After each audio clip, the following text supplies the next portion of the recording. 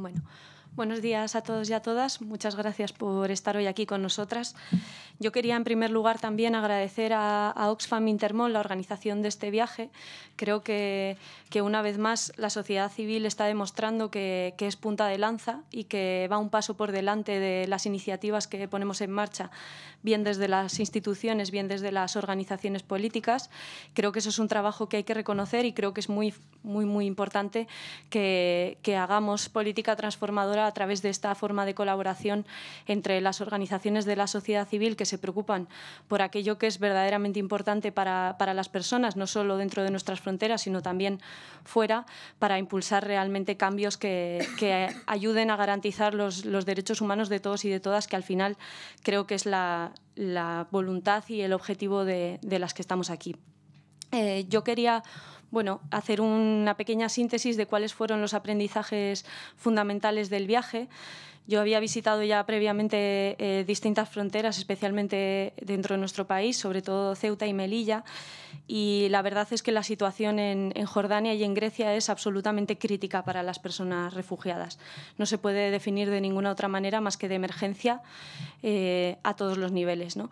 Eh, la situación en, en, Jordania, como describía Lara al principio, ahora que ha llegado el invierno, es, es cruda y, sin embargo, eh, para mí el mayor impacto del viaje fue, fue Grecia. Y, fue Grecia principalmente porque ver en el seno de la Unión Europea situaciones que, que no son imaginables para mí, ni siquiera en, en países del sur, es algo que, que, realmente me tocó, aunque sea bueno, eh, parte de mi experiencia y parte de mi trabajo parlamentario el, el trabajar todos los temas migratorios y, y de fronteras.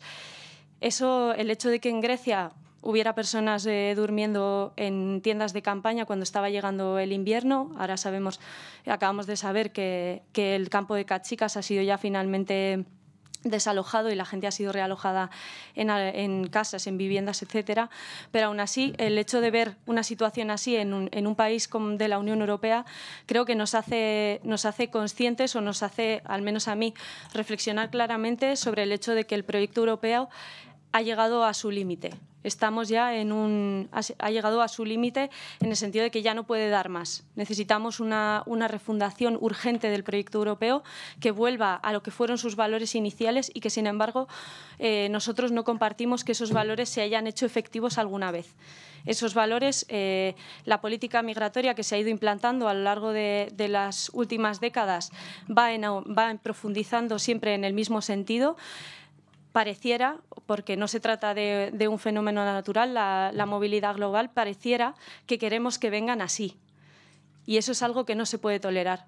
No podemos tolerar que la gente venga así, porque sabemos que para luchar contra las mafias lo único que funciona son las vías legales y seguras.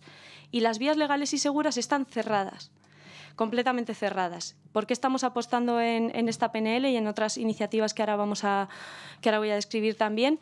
Es porque haya vías legales y seguras de acceso a nuestro país. Sería tan sencillo como garantizar el derecho de asilo si se pudiera pedir, eh, eh, las solicitudes de asilo se pudieran presentar en embajadas o consulados de terceros países. Sería sencillísimo, se puede hacer. Tenemos la capacidad para hacerlo. No podemos escudarnos en la excusa de que Grecia no está, por ejemplo, identificando a las personas. Sí están identificadas las personas, lo vimos allí. Nos lo dijeron las propias autoridades griegas. Hay 10.000 personas identificadas esperando únicamente los visados, el ok del resto de países europeos. Entonces yo me pregunto, ¿qué estamos haciendo? ¿Qué, ¿Qué, estamos haciendo? Porque es evidente que se trata de una cuestión de voluntad política, única y exclusivamente de una cuestión de voluntad política. Entonces, atendiendo un poco a la cuestión de que la política europea de fronteras se ha basado principalmente en las últimas décadas en el cierre de las vías legales y seguras, en la externalización de fronteras de la que, de la que, a la que apuntaba Merichel antes que yo. Esos acuerdos que hemos, a los que hemos llegado con Turquía, que ya tenemos nosotros como España con Marruecos, son acuerdos que lo único que hacen es que otros hagan el trabajo sucio, el trabajo que nosotros no queremos hacer. Y eso es algo contra lo que, para garantizar el derecho de asilo, tenemos que trabajar urgentemente para cambiar esos acuerdos. Nos gustaría saber qué pasa con ese fondo fiduciario de 1,8 millones de euros, ¿no? en el que se ha condicionado una vez más la ayuda humanitaria al control de fronteras. Esto es algo que eh, va en contra, por así decir, de la, de la esencia de lo que es la ayuda humanitaria, de lo que es la ayuda al desarrollo, que busca garantizar los derechos humanos no solo aquí, sino también en los países del sur. Esa es la esencia de la ayuda humanitaria y esa es la esencia de lo que tiene que ser la ayuda humanitaria. Nosotras por eso proponemos aquí que esa ayuda humanitaria aumente pero con unas determinadas condiciones mínimas, porque si no, lo único que estamos haciendo es externalizar nuestras fronteras. Creo que es un, hito importante el hecho de que podamos estar sentadas hoy aquí. Eh, fuerzas tan distintas ¿no? y que, sin embargo, apuestan porque la, política de asilo y la política migratoria sea una política de Estado, sea una política de acuerdo, no partidista, porque al final de lo que estamos hablando es de garantizar los derechos humanos. Y creo que ahí nos podemos encontrar todas y todos, o al menos creo que, deberíamos encontrarnos ahí hemos convertido el, Mediterráneo en la ruta migratoria más mortífera de, todo el mundo. Hemos eh, visto cómo el acuerdo con, la UE y con Turquía no solo no ha reducido las muertes, sino que ha contribuido a que estas muertes aumenten en el, en el Mediterráneo central, con un total de 5.079 muertes en el año 2016. Creo que son cifras que Europa y el proyecto, o lo que queremos que sea Europa, no puede tolerar bajo ningún concepto. Y, creo que bueno, este es el primer paso de una serie de iniciativas en la que espero que nos encontremos. El otro día le preguntaba también al, ministro de Interior cómo pensaba hacer para cumplir una cuota de 17.000, 18.000 eh, personas reubicadas en un plazo de seis meses, que es lo que le queda para, terminar el, el plazo de dos años que tenía.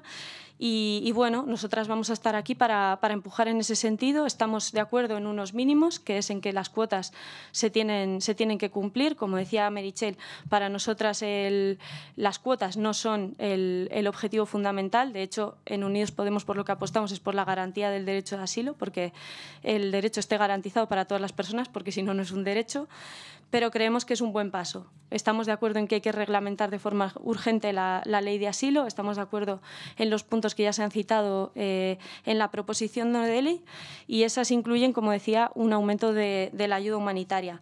Además, eh, nos hemos comprometido también a impulsar unas jornadas parlamentarias que aborden la cuestión de la movilidad global. Ya ha comentado Lara al comienzo que estamos en un momento en el que eh, los desplazamientos a nivel global están en, máximos históricos, no estamos en una crisis eh, grave después de la segunda, en la segunda crisis más grave después de la Segunda Guerra Mundial en Europa. Estamos en la peor crisis después de la Segunda Guerra Mundial en el mundo. Y los desplazamientos, además, eh, son por temas como, como las cuestiones medioambientales, ¿no? que, cuesta tanto abordar y que cuesta tanto poner en el centro. Así que esperamos que este sea el primer paso de, una colaboración que nos haga llevar a, la política de asilo a que sea lo que creo que siempre debió haber sido, que es una, política de Estado. Gracias.